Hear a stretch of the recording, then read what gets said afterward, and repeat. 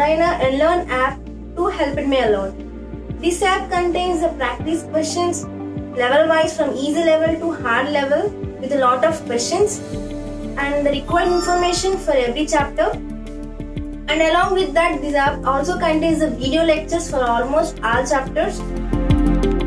Majorly, I got benefited through the detailed analysis they used to provide after each exam.